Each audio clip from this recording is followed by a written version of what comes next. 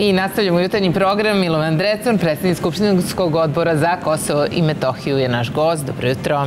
Dobro jutro, sad neko ozbiljan, je li tako? Sad neko ozbiljan Da. i jedna ozbiljna tema. I neko ko je od budućnosti i tako problema. Da. Imali smo različite zanimljive teme. Evo Sad- vidimo na naslovnim stranama novina poseta predsjednika Europske komisije Jean-Claude Junckera i e, komesara za proširenje e, Hana Srbiji. Od vas se ne zahtjeva harakiri zbog Kosova. Šta je on zapravo tražio? Mi e, to i ne znamo. No, novine špekulišu svaka на na svoj način. On je odgovorio na poruku ministra spoljnih poslova Ivice Dačića da od nas traže zapravo harakiri.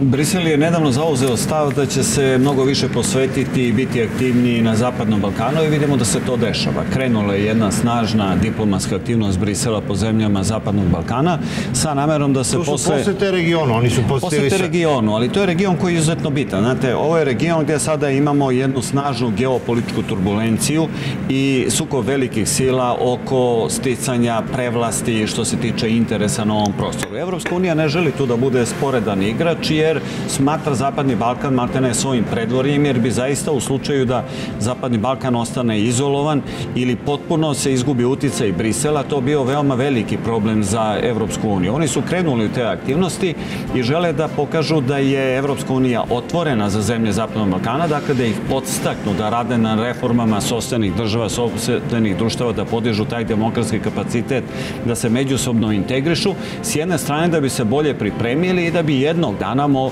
te zemlje mogle da budu integrisane. S druge strane, e, oni znaju da je ključni problem u regionu, dakle to već jeste regionalni problem, e, Kosmetski čvor i žele da ga nekako razreše. U zapetljavanju tog čvora su i sami učestvovali. Neko više, neko manje, prateći Sjedinje američke države i Veliku Britaniju posebno, ali njihov stav prema rešavanju kosmetskog problema nije precizno definisan jer ga očigledno nemaju. Prvo iz unutrašnjih razloga zato što pet država članica ne priznaje Kosovo kao nekakvu državu. Španija već sada ima veoma aktivan, odbojan stav prema napredovanju Kosova u smislu e, davanja nekakvog statusa u pregovorima države Kosovu. Samo može sporazum o stabilizaciji i pridruživanju. S druge strane, sama Evropska unija mora da e, veoma pažljivo vodi politiku prema Srbiji, da je ne gurne mnogo više u naručje recimo Ruske federacije, zato što nam je neophodna podrška Rusije u Ujedinim nacijama da bismo sprečili članstvo Kosova u svetskoj organizaciji. I oni idu sa jednim stavom da očekuju od nas e, normalizaciju odnosa, A šta je to, šta znači pravno obavezujući sporazum? To još niko nije definisao. pa namerno ga ne definišu, jer ne mogu ni oni sami da ga definišu. Kako će da naprave To je ovaj Ren konsenzus? još rekao, upotrebio, kad je došlo do zastoja u pregovorima Beograda i Prištine, on je upotrebio pravno obavezujući sporazum, tu formulaciju i do danas mi ne znamo šta je to tačno. Da, pravno toga obavezujući da- sporazum. Evo recimo danas se pojavlja u novinama jedna šokantna tvrdnja da Euro, Evropa od nas traži da ubedimo Rusiju da pusti Kosovo da uđe u jedine nacije. Da mi sad molimo Rusiju da u Savjetu bezbednosti ne uloži veto. Pa Dobro, ja bih zaista pitao koji je izvor takve informacije. Ja slušam zvanične izjave i meni je to merilo. Naravno, ne kaže se uvek sve u javnosti, ali između redova možete da vidite. Pravno obavezujući sporazum o normalizaciji odnosa i tačka, ništa više. Nemački ministar eh, Gabriel je nedavno izneo stav eh, Nemačke, koja jeste dominantna zemlja u Evropskoj uniji i najviše utiče na kreiranje politike Unije, ali ne mora da znači da će biti takav stav. On je rekao da treba da prihvatimo tu samoproglašenu državu, ne treba da je priznamo, ali da je omogućimo članstvo u jedinim nacijama.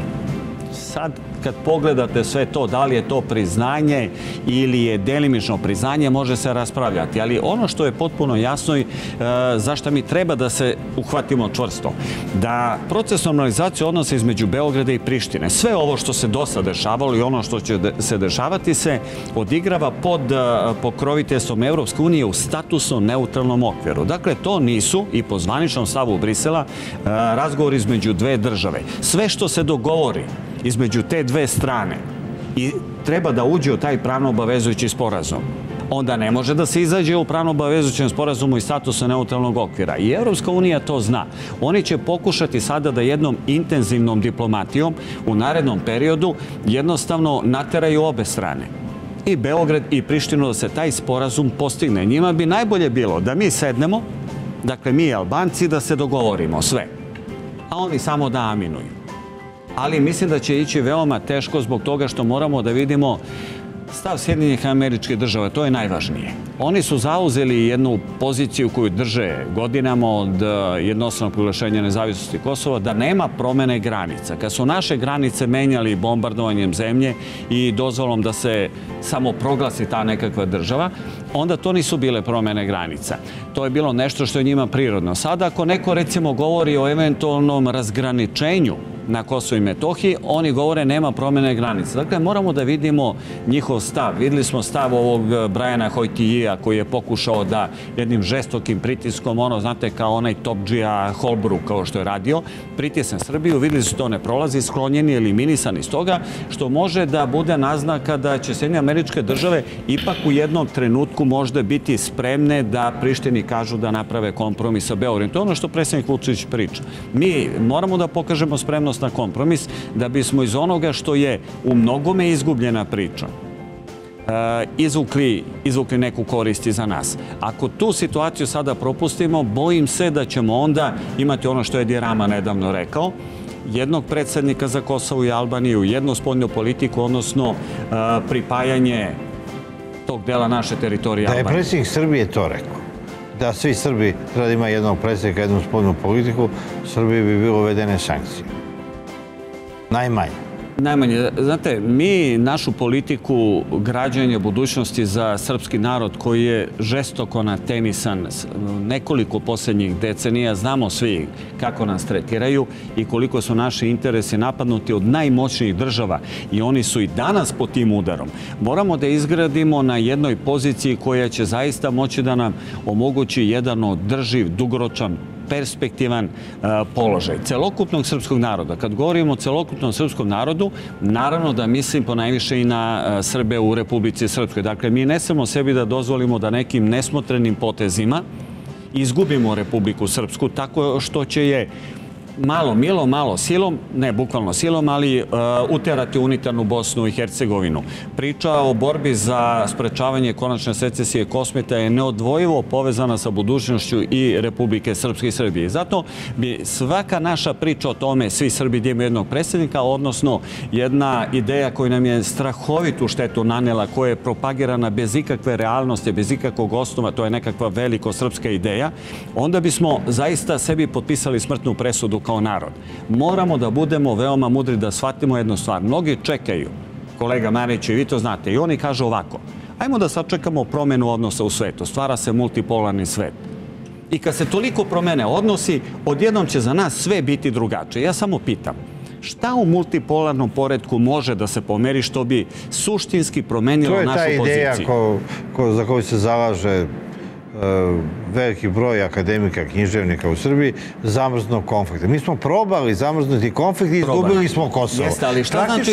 kroz tu politiku zamrznog konflikta Kosovo je proglasilo nezavisno. Tako je. Zamrzno i proglasit će se Velika Albanija ako nastavimo. Ali šta znači zamrznut konflikt? Čekanje da se nešto u svetu promeni. Ja pitam šta da se promeni. To nije aktivna politika. To nije aktivna. Znate zašto nije? Jeste multipolarni poredak napred. Ali pogledajte situaciju. Ovo je kao na ovom stolu. Gvozdena zavesa je bila otprilike po sredini Nemačke negde. Ona je sada pomerena u uslovnom smislu gvozdena hladnoratovska zavesa do samih ruskih granica. Da li iko ko se bavi geopolitikom realno može da pretpostavi da će u narednih 50 godina Rusija uspeti da pogura NATO sa svojih granica Sjedine američke države toliko duboko da oni budu tamo negde preko Drine i još dalje. I da onda Rusija ima dominantnu poziciju ovde zajedno sa Kinom i da se za nas to promeni. To čekanje, to zamrzavanje konflikta je najobičnija budalaština koju, koju bismo skupo platili. Drugo da vam kaže nešto, ja sam vam rekao jednom prilikom, vidio sam uh, strateški plan za razvoj ODKB-a, e, vojnog pakta koji predvodi Ruska federacija, sam šef naše parlamentarne delegacije tamo. Tamo su nam plasirali e, taj razvoj ODKB u 21. veku, gde vi vidite strateško okretanje Rusije, strateško, ka Aziji, ne ka Evropi Ona hoće da bude jedan od temeljnih stubova, kako kažu, velike evroazijske nacije koja se stvara. Ako se oni strateški okreću ka istogu, mi tu ne spadamo. Mi spadamo u ovu zonu evroatlantskog prisustva, dominantnog prisustva. Hvala vam najlepše na gostovanju, a u martu 15 godina od ubistva Zorana Đinđića, tako da ćemo u narednim minutima predstaviti knjigu koja nije ni istorijska čitanka, nije ni politički portret, već su to sećanja 15 javnih ličnosti na Zorana Đinđića.